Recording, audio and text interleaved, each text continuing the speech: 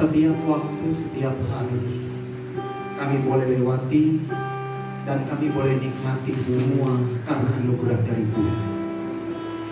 Bahkan di hari yang penuh dengan sukacita bagi setiap kami. Buat apa yang telah Tuhan lakukan dalam pekerjaan, dalam pelayanan, khususnya pusat pengembangan anak yang boleh ada di daerah Tumumpa. Semua karena cinta dan sayang Tuhan. 16 tahun yang boleh kami lewati.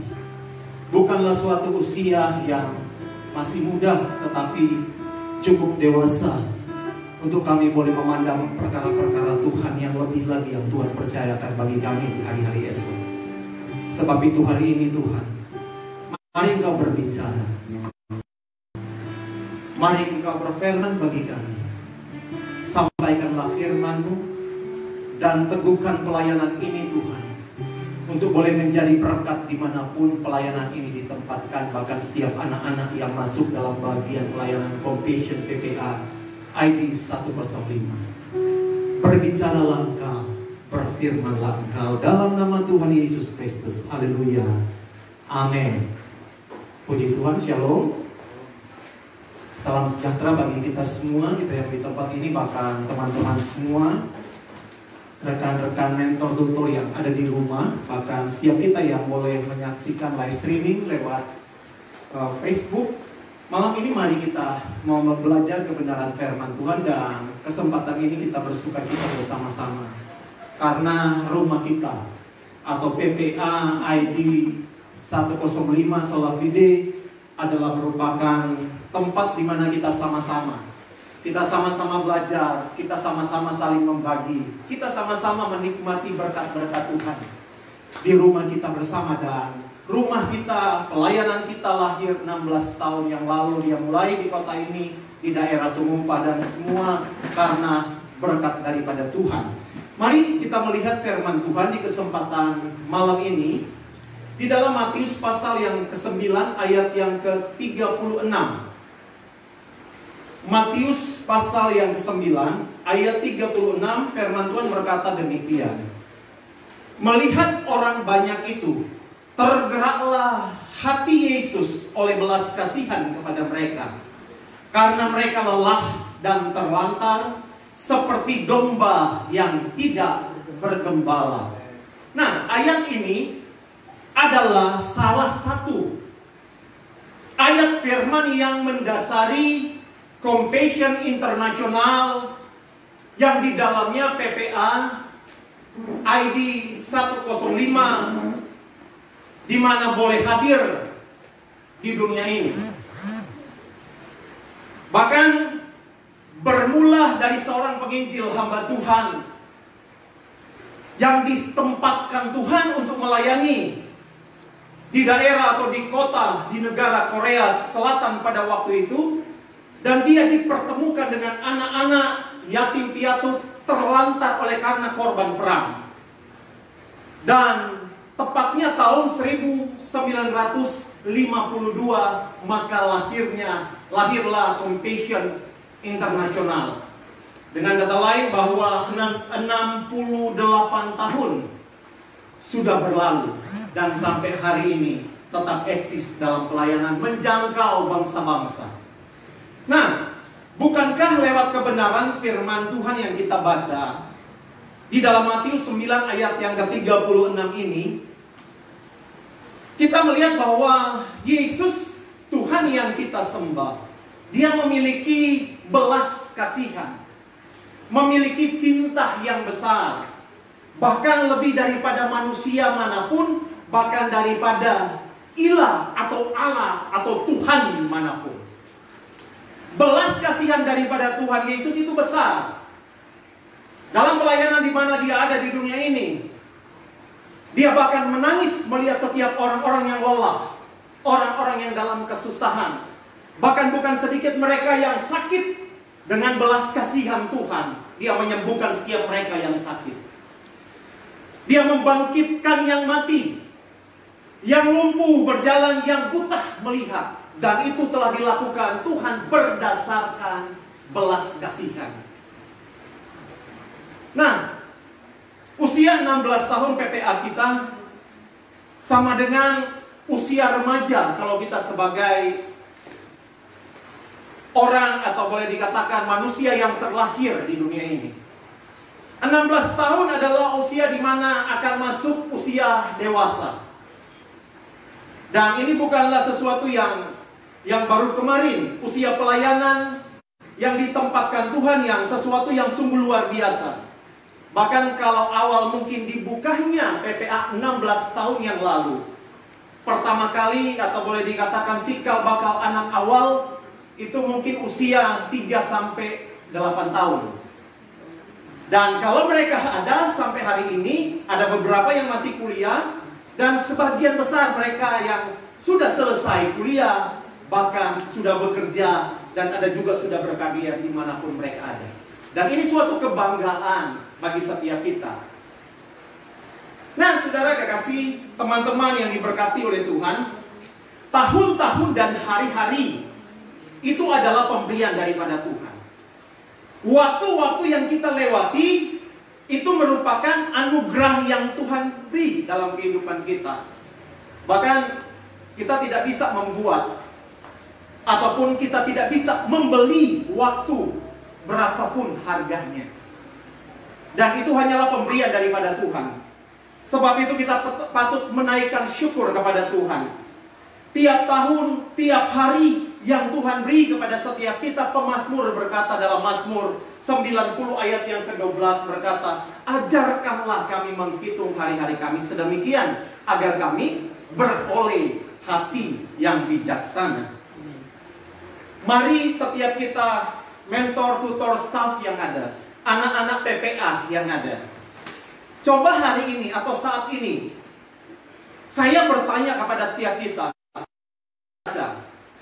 apa yang telah PPA perbuat dengan tahun-tahun kemarin atau dari hari kemarin itu sesuatu yang sudah lewat. Dari 16 tahun mulai dari 16 tahun yang lalu sampai hari kemarin hari ini. Kira-kira sudah apa yang PPA perbuat? Dan saya percaya telah banyak yang Tuhan telah lakukan digunakan dan boleh diaplikasikan dalam setiap kita. Dan pertanyaannya selanjutnya, kira-kira yang akan per, eh, PPA perbuat di hari esok atau di hari yang akan datang? Apalagi nanti kita masuk tahun fiskal yang baru. Nah teman-teman yang diberkati Tuhan, ulang tahun bagi saya adalah sesuatu tonggak atau boleh dikatakan patokan antara masa lampau kemarin dan hari ini masa kini dan hari esok masa yang akan datang. Saya suka sekali ada seorang pelukis, ada seorang seniman yang bernama Titian. Dia dari Venesia, Italia. Dia seorang yang populer, lukisan-lukisannya sangat terkenal. Nah, salah satu lukisan yang saya suka dan lukisan itu juga sangat terkenal di mana gambarnya adalah lukisan berkepala tiga.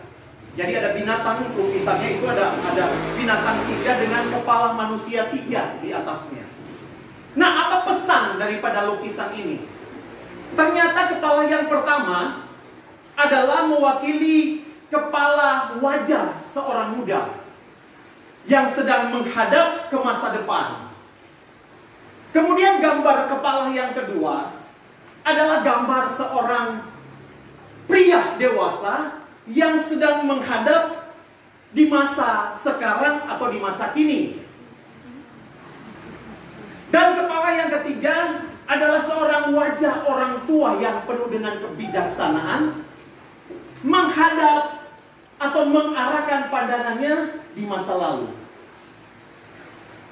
Yang hebatnya daripada lukisan daripada titian ini adalah tulisan daripada atau keterangan yang ditulis di atas lukisan ini menggunakan bahasa Latin. Tetapi dalam bahasa Indonesia itu tulisannya seperti ini. Dari pengalaman masa lalu, orang masa kini bertindak bijaksana supaya tidak merusak masa depan. Sesuatu yang sangat-sangat menginspirasi, menginspirasi setiap kita.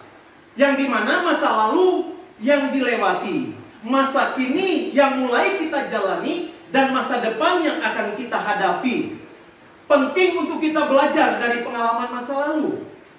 Agar dapat bertindak bijaksana di hari-hari ini. Dan menjadi modal untuk di hari yang akan datang. Untuk menjadi modal pegangan kita di masa depan kita. Compassion, saudara, atau teman-teman yang ada, rekan-rekan pelayan, mentor, tutor yang ada, Compassion itu hadir sebagai pelindung anak.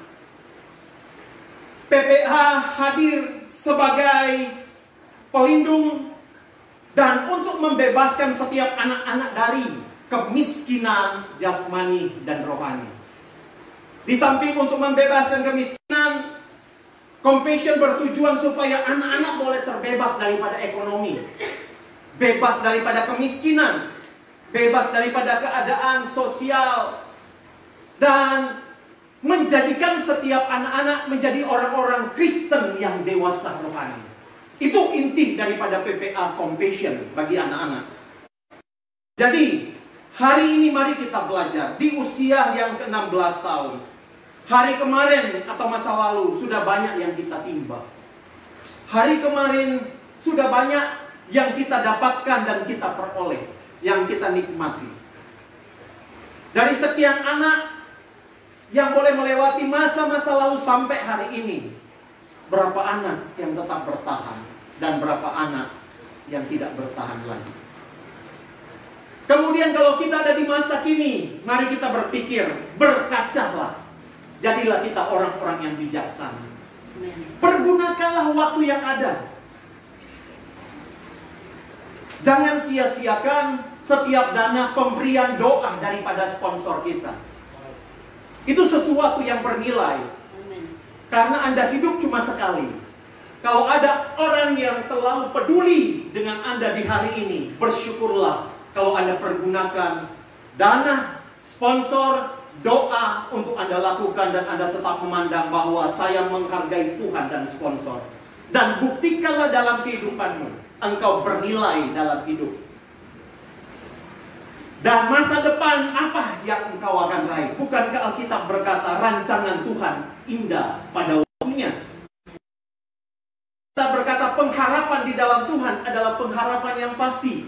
Bukankah Alkitab berkata rancangan Tuhan mendatangkan rancangan yang damai sejahtera bukan kecelakaan tapi hari depan yang penuh pengharapan. Hari depan yang gilang gemilang bagi mereka yang mau taat dan meresponi dan menghargai apa yang kita nikmati. Ketaatanmu hari ini akan menentukan berkat di masa depan. Taburanmu, giatmu dalam belajar di hari ini.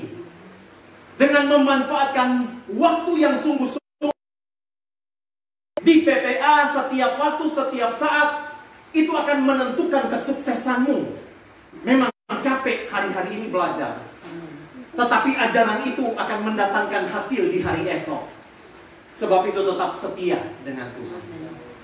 Tetap setia dengan Tuhan.